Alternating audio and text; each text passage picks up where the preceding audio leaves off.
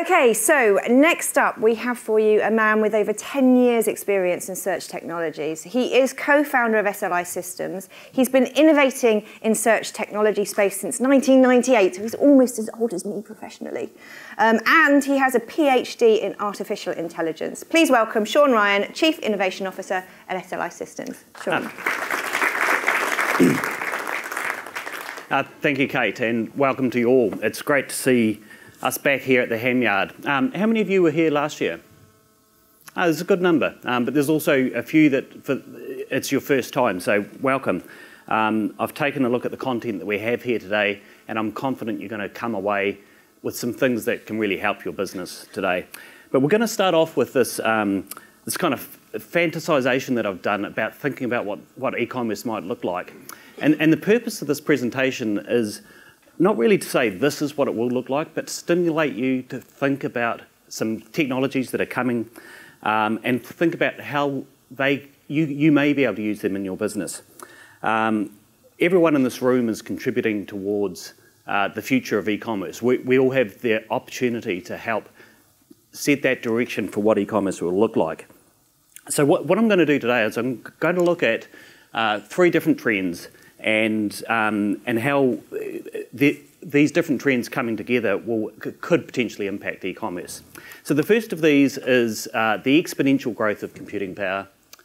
I'm going to talk about some hopefully some stuff you may not have seen before about some some detailed models of real people uh, that are being created now, and um, virtual reality, which is a very very hot topic right right at the moment.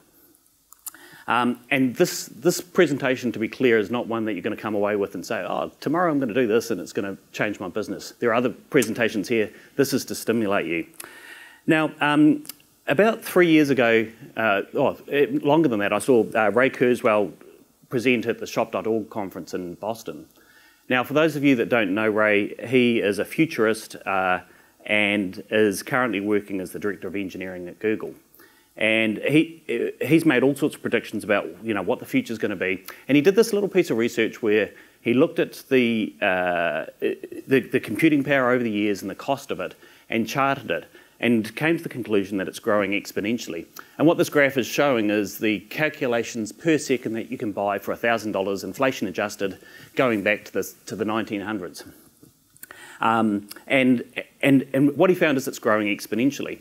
Now, the thing with exponentials is most of us really don't have a innate understanding of exponentials because we live in a linear world and we, it's very difficult, difficult for us to understand what these mean um, and to predict what we're going to be able to do as a result of things that are growing exponentially like this. To get, just to give you a really simple example, um, if I was going to take 28 steps in that direction, I'd end up a bit past the, the door at the back of the room. Um, if I was going to double the size of my step each time that I took one of those steps, I'd get to home and back. And I live in New Zealand. um, and, and, and, so uh, we can all do the math and, and work it out. Oh, yes, that, that does work. But um, we just don't have this innate understanding of how exponentials work. And so it is with, um, with Ray's prediction about where e-commerce, uh, sorry, where computing is going to go. He's he, he predicted back in 2000 that for $1,000 by 2020, you'll be able to buy the computing power that is equivalent to one human brain, um, which is amazing when you think of it. Um, the, uh, uh, uh, there, there, was an update he, he did just, just as recently as last year, and he still thinks that that's going to happen around that 2020 mark. Um, what's more, if we continue with this exponential growth in computing power, by 2040, you'll be able to buy for $1,000 the computing power of all human brains. And then, which is mind boggling when you think about it. And, and the types of things you're going to be able to do with this, it's really, really hard to imagine. And Ray's come up with some predictions that look absolutely crazy. Um, but an analysis of Ray's predictions recently showed that 86% of the predictions he made back in 2000 for, for the time that has passed now have, have, have borne out. Um, uh, so it's really interesting. So keep in mind that computing power is growing exponentially. So some of the things that seem um, sort of incredible, you may be able to do soon.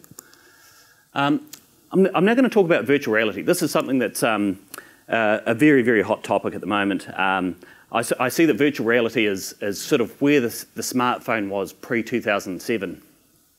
Um, it's funny, when I was on the plane on the way over, I watched a movie called The Big Short, which is about the financial crisis.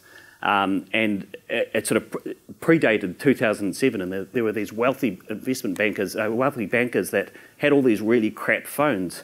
And you just sort of forget about um, how quickly the, the iPhone and all, the, and phone technologies de- developed. Um, and we all know, you know, what um, how mobile uh, smartphone take up is sort of growing, and that curve that you see is also an exponential type of curve. And there are a lot of people who believe virtual reality is going to get a similar sort of adoption. Um, there's the Microsoft HoloLens that is now taking pre-orders for its developer um, uh, pack. There's the HTC Vive, uh, which I had a play with uh, just just last week, uh, which is now available for people to order the commercial version. Uh, there's the Oculus Rift, which which is also available and is shipping later this year, and and its cousin, the Oculus uh, Gear, uh, which enables you to to put your phone into the into the into the gear, and so we can leverage the the, the, the adoption of phones that is that we've all seen to help uh, accelerate the adoption of virtual reality. Um, and there's, there's various um, estimates um, of, of what, how virtual reality is going to grow. so uh, I, I, I um, had my first play with virtual reality uh, about 18 months ago. I met this guy, uh, Neville Spiteri, which is probably not how you pronounce his name, uh, who, who was CEO of this company, WebVR uh, WeVR. And, and what they do is they're creating open source tools to help people produce virtual reality content. And uh, they recently received uh, $25 million of funding, I think, last month to help grow that, which is typical. You see a lot of investment in virtual reality at the moment. Um, now, Neville uh, spoke about virtual reality, uh, and it's all very interesting. Uh, but at the end of the presentation, he, he had a, a, an Oculus Gear there and after everyone had sort of stopped asking him questions, I said, oh, Can I have a go with that? He's like, Oh, don't tell anyone. And he took me off into a room with one other guy, and we had a go. And he'd created this, um, uh, th- this experience called the, the, the, the Blue, which is you, you, put this on, and suddenly you're submersed underneath the ocean. You're standing on a, on a ship, and you see this whale coming towards you, and you can see fish. And, and you can look up and see the, the skylight, the sun coming through. And it was a completely immersive experience. You had the headphones on, you could hear these sounds. And um, once I experienced it, I, I was convinced that yes, this will become a platform because it's such an immersive experience. Um, and, and, the question is, um, how is it going to become a platform? What is it going to look like? And are people going to do e-commerce on this?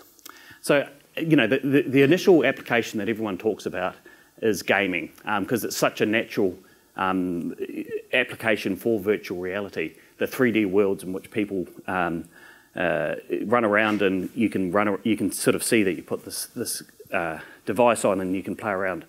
Um, but but that's, that's for gamers, right? Um, that doesn't necessarily mean it gets, it may be very successful with gamers, but it doesn't mean that it's, it's uh, widespread like phones necessarily. Um, Facebook has produced this trailer for a movie about Henry the Hedgehog, which you can view in virtual reality. And there's a real challenge for, for movie producers that they're trying to understand how to do this. Because in a, in a normal movie, they have very tight control over what you see. But in a virtual reality movie, you can look around and you're not necessarily looking at the action. So they've got to give you cues as to where to look, but you can, you can have a more immersive experience uh, than just what you would have in a movie. And so they're experimenting with this. Maybe that's something that will, uh, that will, that will drive the adoption of virtual reality. Um, there's a there's a company that shares a building with us where uh, one of the entrepreneurs is starting a virtual reality company. He's he's a, a, gamer or he's run a gaming company, so they've got a lot of experience at creating um, 3D models. And this is something that I had to play with last week with the HT, HTC Vive, um, where we uh, this was a, a training simulator for an X-ray machine where you could put the thing in under the patient and you could pull the machine down and and adjust the focus and all that. And then the room on the on the right there, you could walk into, and then press the button and take a take a take a picture. And it was kind of cool. You could even pick up the monitor and throw it around if you wanted to, which was strangely satisfying. Um, and, and this was something he, uh, he created in, in, about a week or so. And, and the idea is these machines are very expensive to have available for training. You can do a certain amount of training in virtual reality. You know, th- these sorts of applications. He had another one he developed for training to learn how to spray paint um, panels. Uh, and again, you, you, can see it's, well, you can learn some of those things in virtual reality. You don't have to paint a whole lot of cars. You don't have the costs involved in that. Um, you know, these types of things may help spur the adoption of virtual reality. Unfortunately, well, not uh, uh, porn has, has driven the adoption of a lot of um, a lot of new media from the printing press on.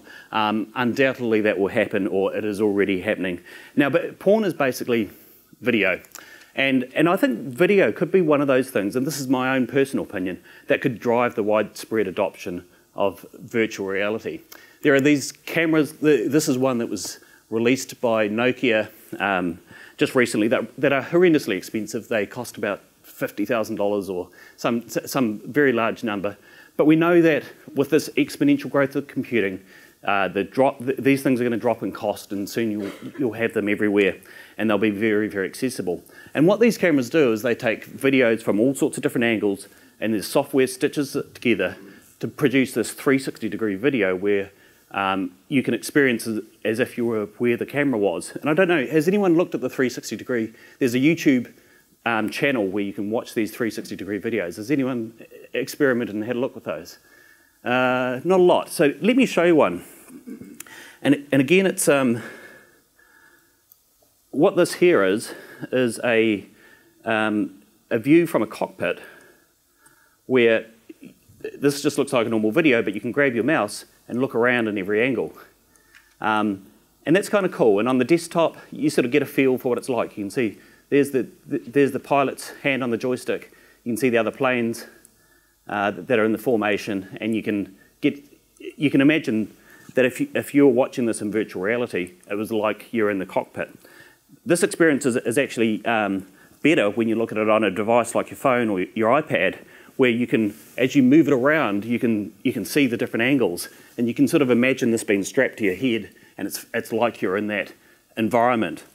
And the people that have experienced this, and I, experienced this with my uh, phone last week, you can try the Google Cardboard where you can put your phone on and experience it, um, which is a, yeah, the resolution isn't as good, it's not as good as these, these new devices, but it is a, an amazing experience. Um, it feels like you're there. And I think some, some of these applications uh, will drive the adoption of virtual reality. I mean, I think um, one, of the, one of the applications in particular is sports. If you could have um, virtual reality cameras at sports where you can experience the sport from the sideline, like this guy does for basketball, um, or you could watch, you know, you could have the experience of a touch judge at football, or Richie McCaw in the sin bin if you're a rugby fan. And, uh, and it would be like you were there watching, like you do your kids' sport, but for your favourite team. Um, and you could, you could go, look around and see the crowd, you could, you could watch, pay attention. I think something like that could really drive the widespread adoption because I think it could be much better than the TV experience that we all use at the moment. Um, now imagine with this um, exponential growth of computing that a few of these cameras located around an event could be, could rather than just stitching together the videos so you can see it from the perspective of the camera. They stitch together a complete 3D model so you could look at it from any perspective. So imagine watching a game from the perspective of a player. Um, so you could actually be, it's like you you were that player and you're running around and you can see the ball. You can, um, you know, it could be a completely different experience than you're able to experience at the moment. I think some of these things are going to drive the adoption of virtual reality. And if, if if it does indeed become a platform, then will e-commerce be one of those applications that people will do on this platform? Not all platforms people use for e-commerce. You know, the phones, the tablets, people do. uh, TVs, gaming consoles, not so much. Um, and this is a question that we need to ask ourselves. But before we do this, before we look at e-commerce and virtual reality and start to just think about what that might look like, I want to show you um, an, another um, experience I had.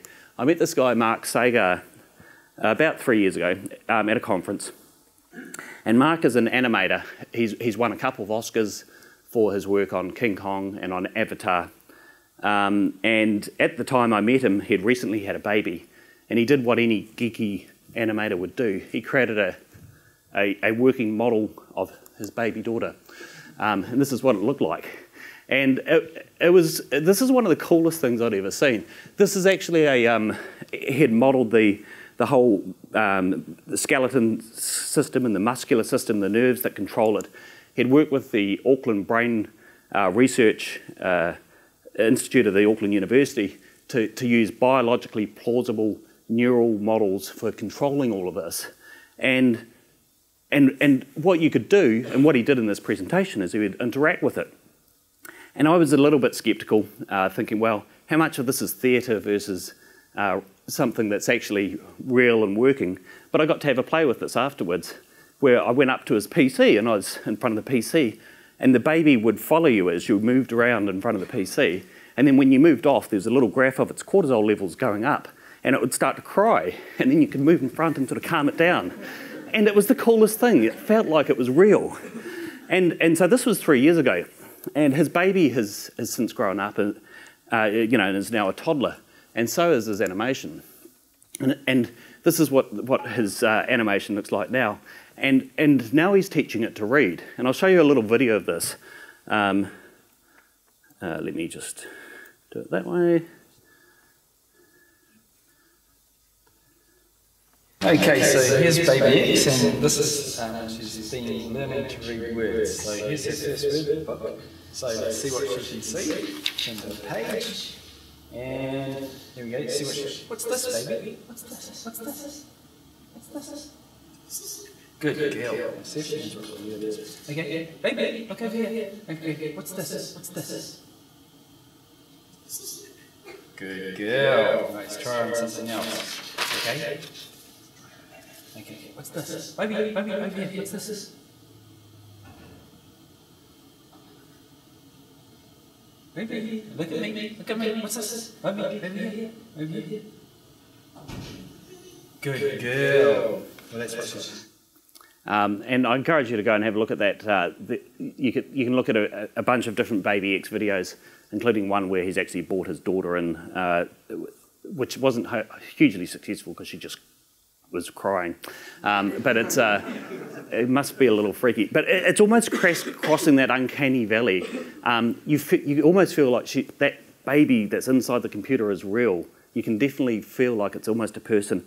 And you think, with this exponential growth of computing power, maybe she's going to take over the world. Um, so uh, in August last year, I, I, when I was in Auckland, I, I, caught up with Mark and I went and visited him in that office, which is exactly as it looks. There's piles of books and he's testing different models.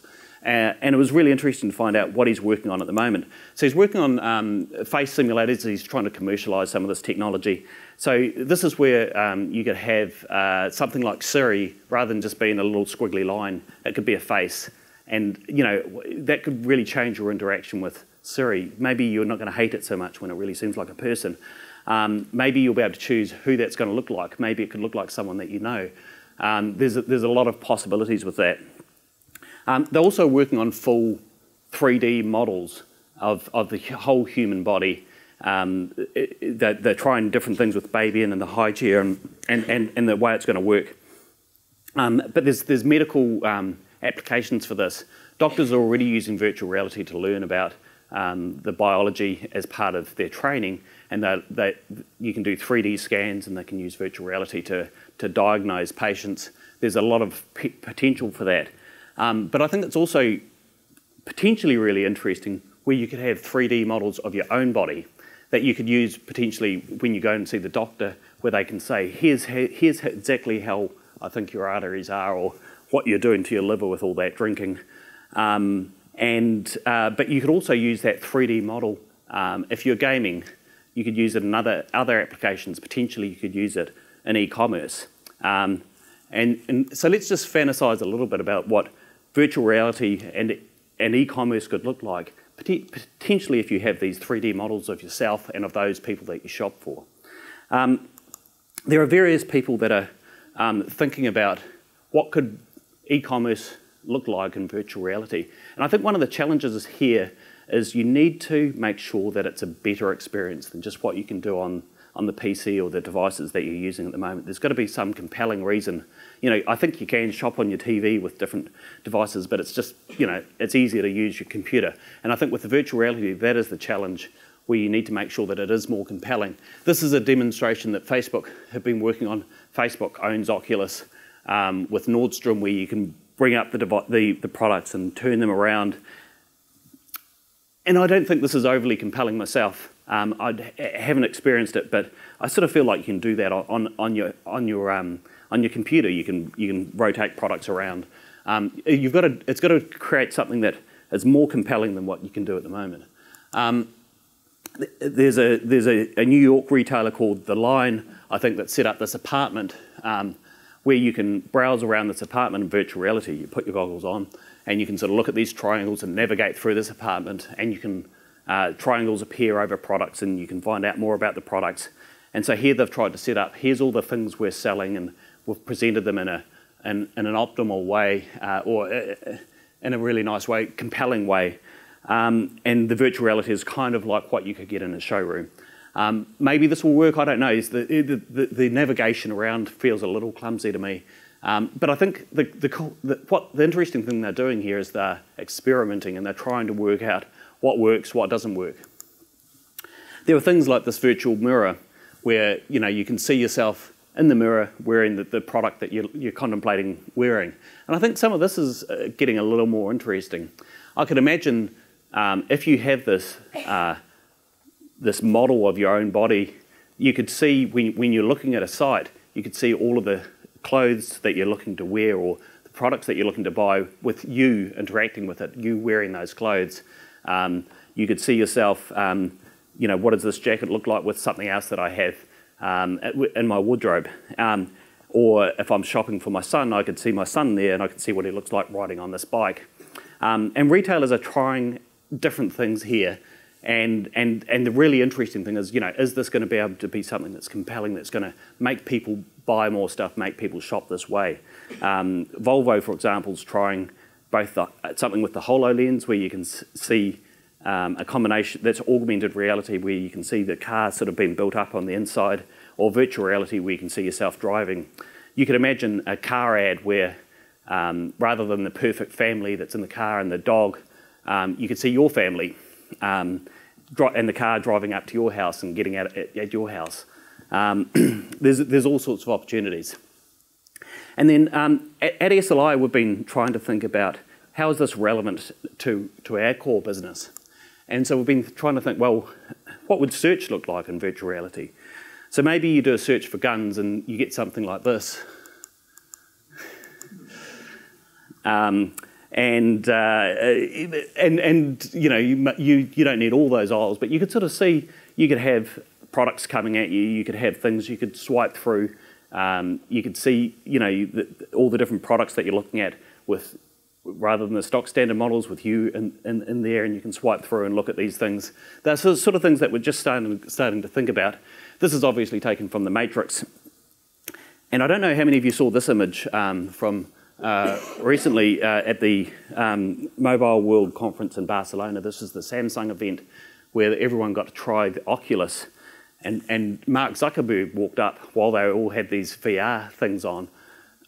By the way, I, th I, think these are, these are kind of like the big bricky cell phones that you used to have in the, in the 80s um, that we'll look back and laugh, laugh at. But this feels like he's the only one that's not plugged into the matrix. Uh, he, he, was apparently uh, treated like a rock star when they finally took those things off and saw he was there. Um, one of the things we do at SLI is we do these innovation day where the engineers can go away and work on anything they want for a day. And um, you know, we've had some products that are now in circulation that have come out of these days. But we also try things that are, that are out there. And we've had some engineers experimenting with search and virtual reality and e-commerce and virtual reality. And this was done over a year ago, and it was only done in a day we were experimenting with putting products into a virtual environment and, and, and experimenting with how do you get this meta information, how do you display that.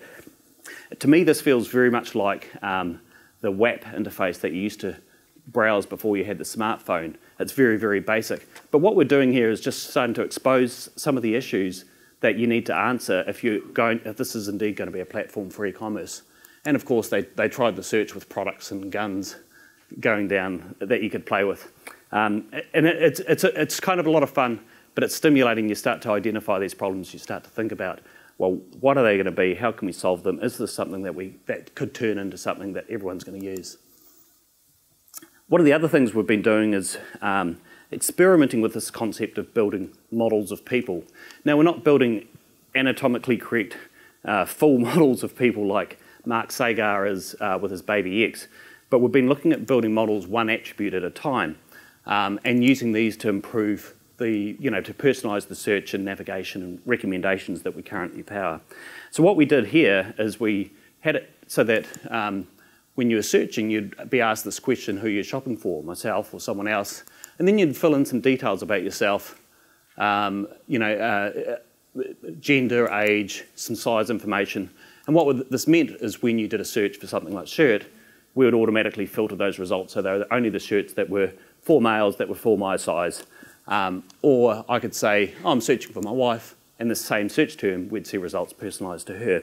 So this is just things that we're experimenting with. We're trying to work out are these things that we that could be steps on the way to this um, bigger vision of of of, of what um, e-commerce could look like. Um, and uh, and as with all of these things, it's you, you're never done. You're always experimenting. You're always trying different things. Um, and and that brings me to the uh, the end of my presentation. But what I what I want you to do as a result of this is these virtual reality devices are, are, coming out now. These cameras are available. Um, I encourage you to get your hands on these to experience it for yourself, so you can have um, you can have this this uh, this thought. You know, can I use this in my business? Imagine how what could it look like? Could this could my customers use something like this to have a better experience with my brand, with my products, um, and and have a play? if you can, get some of these cameras and try doing some, some 360 degree videos. Um, eh, get your customers to engage with them. And, and I just encourage you to, uh, to, to experiment and to try because you guys, in the end, are the leaders that are going to be developing this new version of e commerce. And with that, I can take some questions if we've got some Thank time. Thank you. Yes, we do. Thank you very much. Brilliant.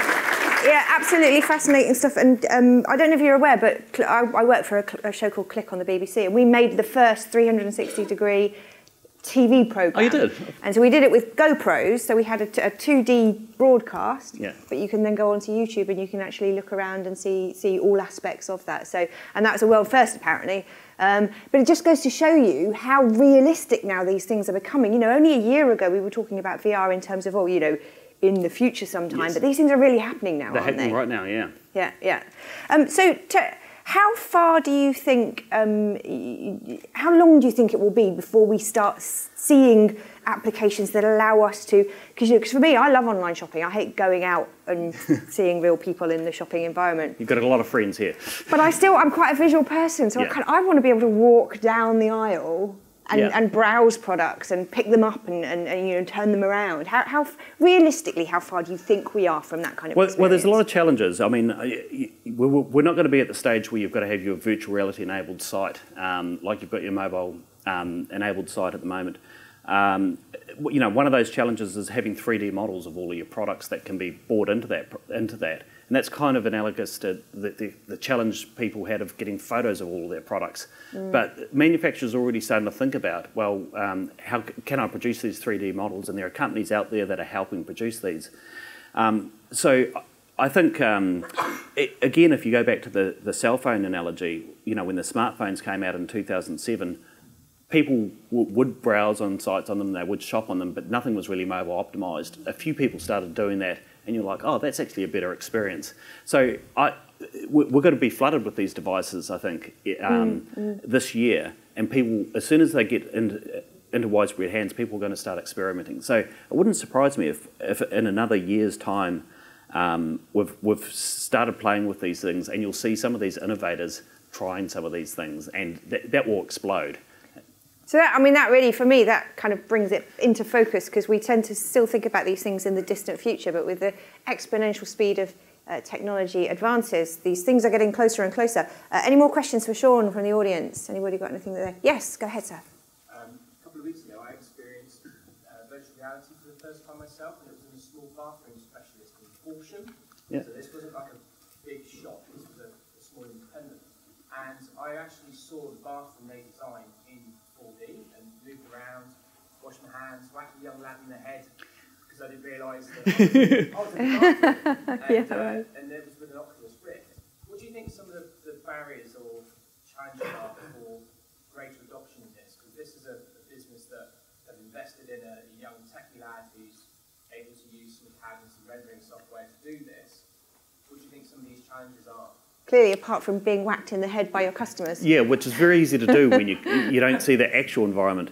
Um, in fact, that's one of the advantages of the HTC Vive is you, you put these little sensors up and it gives you a restricted area and it will tell you if you come come to the end of it. But I think um, there's a lot of people that have experience in building 3D models. Um, you know, there's a lot of people that have been doing gaming, for example, that are going to be able to apply sort of go out from the gaming and, and use all of these types of applications. So there's actually a lot of people who have the skills that could do that. You know, the thing I was interested in, I mean, uh, there that's a, some techie guys put that together that probably, you know, he's, he's one of the first people that's got experience building virtual reality. You can see that they, those people are going to be highly in demand. The, the, the guy in my building, um, you know, it took him about a week to build that whole training uh, demonstration that you know he's trying to sell to a to a company that's trying to do that sort of training. So you can see that these people are going to come out of the woodwork and, and, and their skills are going to be in demand. But there are a lot of them out there that can repurpose those skills that whether been build, building 3D models and other environments that can then experiment with retail. Did you feel like it would it was an experience that would make you be more likely to actually come to a purchasing decision? it, was, it was amazing. Yeah. To be perfectly honest. Um, the last time I saw VR was at, at some internet conference in 2000.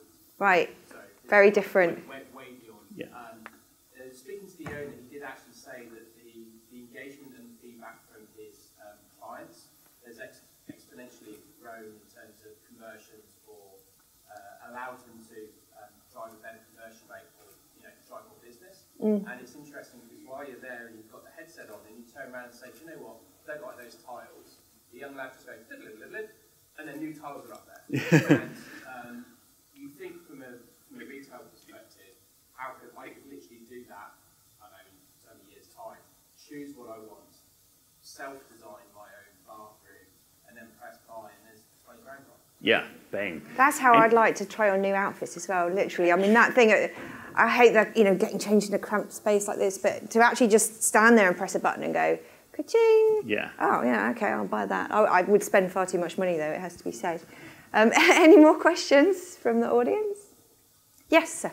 It's quite interesting when you say, you know, you've got trying out that, see the colour and all the rest of it. How about the feel? You know, you're gonna, you're gonna feel the dress is the right texture. Or Do you know? I mean, I don't know if I'm unusual in this respect, but I buy all of my clothes online because I literally hate the physical shopping experience because I can't visualize stuff on a hanger as well. This is my main problem. When I go into a big retail outlet, I can't, you know, most of them they're on their spaces are premium, so everything's on hangers and shelves uh, in, in racks and stuff, and I can't visualize them on me. So I go and go, ah, no, nothing. But I go along to somewhere like ASOS, and you've got the, the, the catwalk kind of like demonstration. You see how the material flows, um, and and that's how I buy. I don't know. I don't know if the let's just show of hands from the people in the audience. How how many of you feel that touch is a vital element if, to, to, to purchasing an item of clothing? So quite a few of you. For, uh, for how many people uh, buy stuff based on how it works online and you know and how you if you see a video?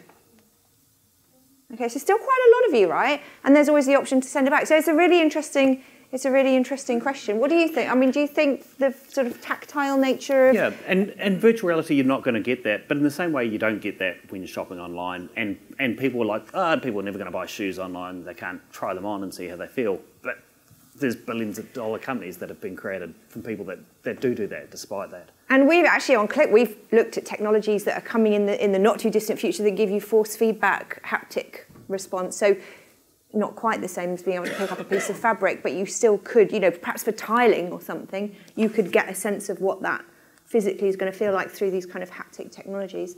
Um, well, listen, Shaun, we're out of time. I know Shaun's going to be around for the day, so if you've got any more questions for him, if you want to pick his brains further, then he will be here. Um, and I'm sure he'll be very happy to, to speak to you during the, the breaks. Uh, thank you very much, Shaun. thank you. Thank you.